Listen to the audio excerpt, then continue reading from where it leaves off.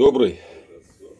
А, я обещал, конечно, тут сегодня по максимуму поработать, но по полной программе, по полной не получается, потому что меня тут везде дергают, то у меня стол координатный выкупили, надо в ящик было его заколотить, сегодня отправлять поеду под закат рабочего дня, у них там в транспортной компании. Ну, тут туда-сюда, всякие заботы там на основной работе тут у меня появились дела тут. В общем, так, хватает спорта, как говорится, в моей жизни. А, и вот как бы все равно я тут такие основные работы все-таки сделал.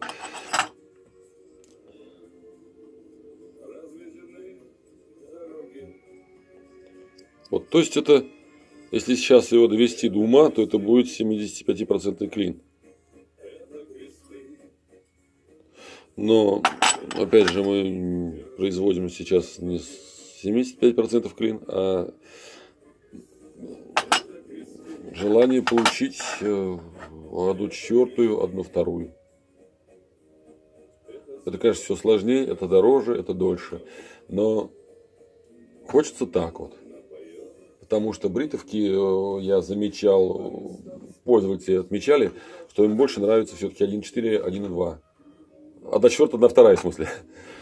Вот. Это вот наша Х12МФ.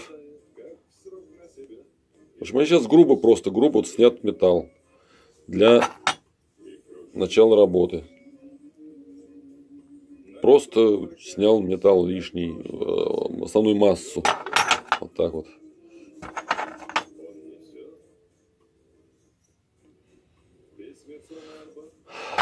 Так, ну, выровнял тут все это. Кстати, вот эти клеймы, даже вот, вот эти вот буковки, циферки, то есть они как бы,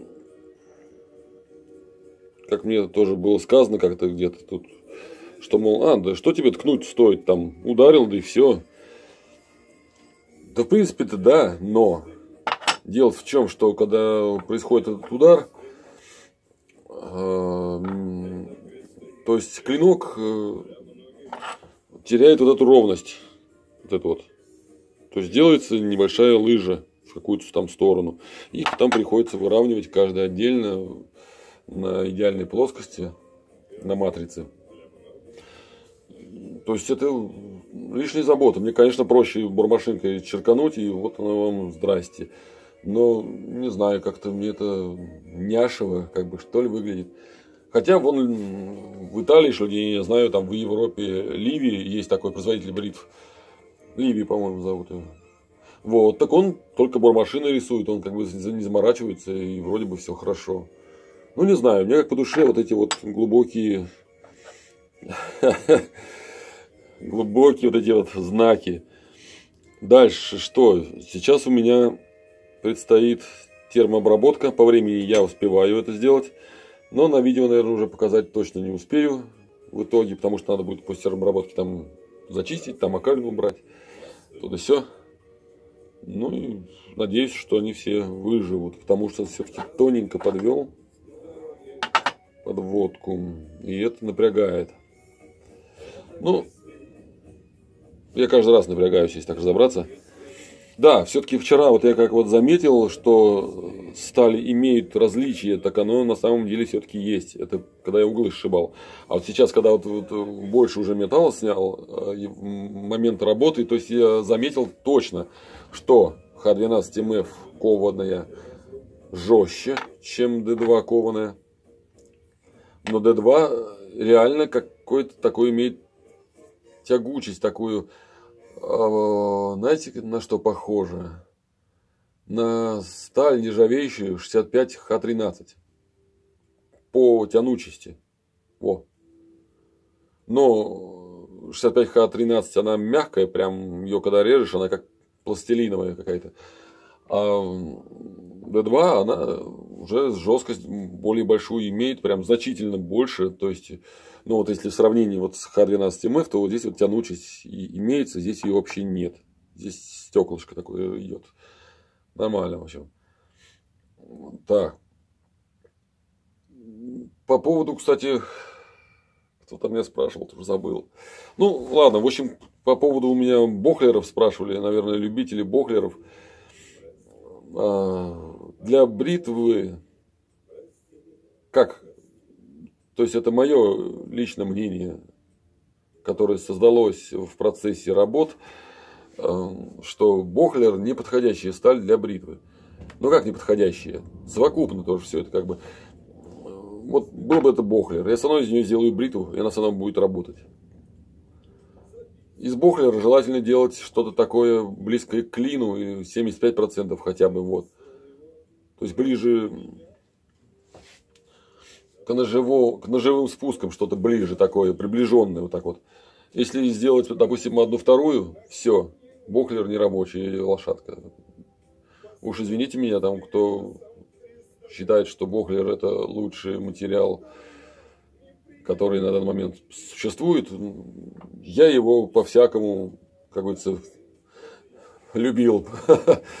Но и ковать его ковал, и в листе вырабатывал. То есть, вот пока железка еще такая имеет толщину какую-то там все-таки, да, нормальный сталь, не айс, конечно, прям вот, что прям ахать от него, но и неплохая.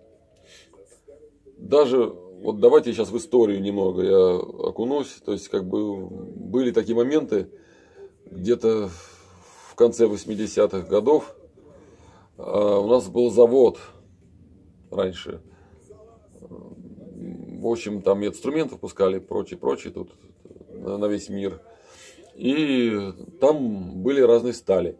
И среди них в основном была нержавейка. И вот там всегда присутствовала нержавейка, ее все так прозывали желтая нержавейка. Ну, не знали точного названия, там работники не вникали никогда там в марки точные названия, а просто называли ее желтой нержавейкой. И, и ее считали самой такой, из нее просто делали какие-то тут подставки, там какие-то приспособы, но никак не изделия, там, даже не, скал, не скалпеля, которые там в основном производились. То есть на скалпеля даже не шла эта сталь. Но вот эта та самая желтая нержавейка была Бохлер. Вот. То есть там если по бумагам пошуршать, то в бумагах было написано по привозу марка стали. Хотя все кругом кричат, что вот этот Боклер изобрели недавно и начали там этот, нашли этот способ его распылением там напылять там слоями туда-сюда, но хочется верить, конечно, в это, но то, что был Бохлер в те года, факт. Я, конечно, спорить ни с кем не собираюсь, но это факт, который я вот лично видел, лично читал, лично смотрел. Жалко, раньше не было мобильников, на которые можно было фоткнуть, которые под рукой всегда. И сейчас это вот так вот предоставить. Вот тогда уже тут было бы бесспорно и не просто голословно. Ну что ж, перекур считаю закрытым. Мне надо сейчас, чтобы не трапцом, чтобы без ошибок, сделать термообработку. И уже ломиться по остальным всяким делам, которые у меня что-то скапливаются. Ну, это нормально. Все.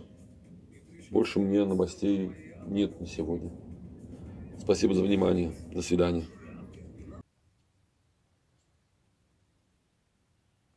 Вроде как все ровные вышли.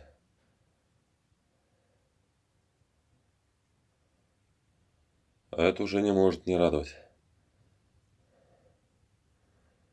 Так, стрельнул глазом. Все вроде как Отлично.